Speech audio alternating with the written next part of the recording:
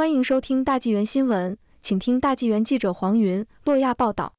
中国疫情未止民众反复感染，死亡增多。二零二四年前三个月，北京大学连续发布十三个讣告，至少八名教授、五名党政官员接连病亡。中国至少五名中科院院士、七名工程院院士病亡，密集死亡的名单在不断拉长。近日，多地民众爆料，新冠死亡人数越来越多，民众。感觉小区里死人多起来。湖北武汉市民张勇（化名）四月八日对大纪元表示，当局封锁信息，不公开真实的情况，医院住满了，心梗、脑梗，年轻化了，死亡多得很。怎么死的？他不公布啊，没有人说，全部是正常死亡。网上看到小部分也都封锁了。浙江丽水市景宁县刘女士也对大纪元说，她所在的居民小区老一辈去世的比较多。他们办酒席呀，就是会在小区里面办。别人家办丧事什么的话，别人就知道这家怎么个情况，然后整个小区里面会感觉死人多起来了。他对记者说：“你有没有发觉呀？就是他好像就是换汤不换药，就是把这个名字一改，实则那个东西中共病毒还在啊，那个东西就是原始的。我们是小县，再加上要县庆四十周年，就算有的话，他当地政府也不会让消息传出去。”大陆一家医院主任医师刘医生对大纪元披露，他所在医院入院量暴增，基本都是新冠加后遗症患者，很多患者是呕吐、拉肚子的，有的昨天还好好，第二天就走了。医院就半夜往外抬死者，白天不敢抬。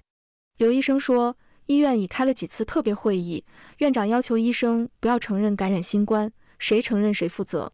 这是全国性的行动，所有资料都不能留。官方数据也显示，新冠死亡人数在增多。中国疾控中心官网上的信息显示，二零二四年二月，大陆新冠中共病毒疫情的新增死亡病例呈快速上升趋势。数据显示，二月新增死亡病例是一月的七倍，新增重症病例三百五十八例，死亡病例二十二例。而一月新增重症病例一百三十四例，死亡病例三例。不过，官方一贯隐瞒真相。实际死亡人数应该更多。中国民众还在反复感染中煎熬。在2024年，还有大量中国民众在反复感染中共病毒的痛苦中煎熬着。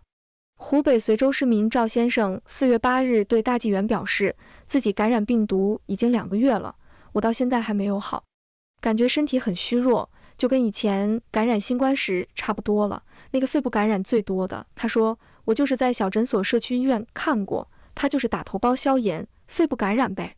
我都有肺结节。他表示，听说这个肺结节是打疫苗引起的。反正我打了两针，第三针没有打。他们好多人就说打疫苗有问题，好多人在说。赵先生说，像他这样染疫长久不好的情况很普遍，当地什么都不管了，自己管自己。他还表示，因为长时间没有痊愈，家里人都感染，症状都不一样的。他说。疫情反正就是过年以后就是更严重了，就是大人小孩都是咳嗽，都是发烧。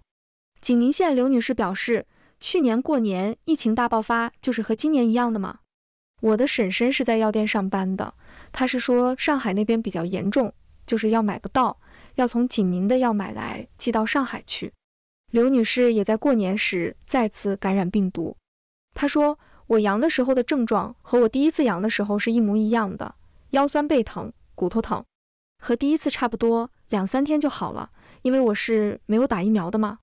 他认为，你中共原先大力宣传让别人去打疫苗，然后一半以上的人都打了疫苗，你还控制不住疫情，你还有脸说这是疫情吗？都打了疫苗，有些人打三针了，打了三针还传染的话，还好意思说这是新冠吗？沈阳市民徐女士说，当局强制民众打新冠疫苗，导致许多人反复感染。好多人以前身体挺好的，现在都不行了，感染一次身体就弱一次，普遍都是这样。还有不少人打疫苗之后患癌症和心梗、脑梗死掉了。我有个朋友的哥哥，还有小叔子都死了，医生说就是心梗、脑梗。此前，大纪元和多家外媒报道已多有报道披露，中共秘密下令殡仪馆和医院尽量不要以新冠作为染疫死者的死因。大纪元已披露多份中共内部文件。显示当局判定新冠死亡的程序涉嫌刻意隐瞒死亡病例。其中一份文件显示，医院著名新冠患者死亡需要最高层的国务院同意。疫情到底造成多少中国人死亡？中共一直对此讳莫如深。早在二零二三年一月，法轮大法创始人李洪志大师就开始。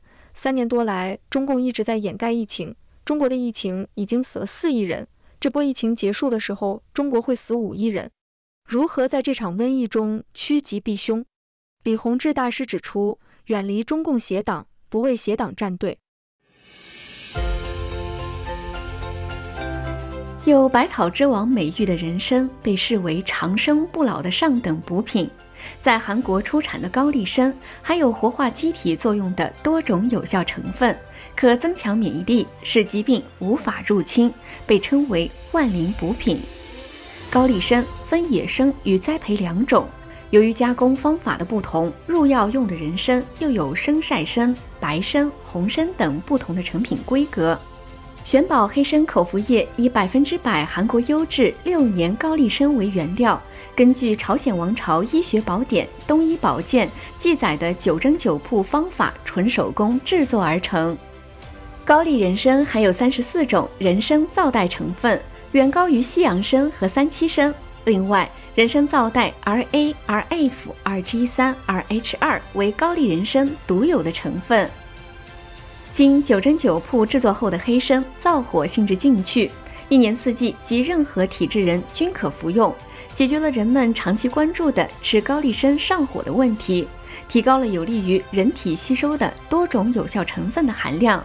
其中有免疫抗癌作用的人参皂苷 RG 三的含量比红参高八倍，人体对玄宝黑参中的人参皂苷的吸收率高达百分之八十以上，是红参的六倍多，是白参的十六倍。